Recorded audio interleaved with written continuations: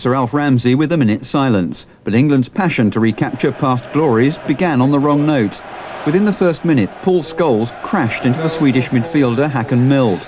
It put Mild out of the game with an ugly-looking injury, and Scholes' aggression was eventually to cost England dear. Sweden, the group leaders, had three clear chances in the first half, but fortunately for England, Henrik Larsson wasn't in his best Celtic form.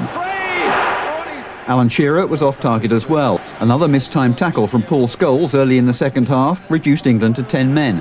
A hat-trick against Poland, the treble for Manchester United, but now the first England player sent off in a home international. Sweden cruised through the rest of the match,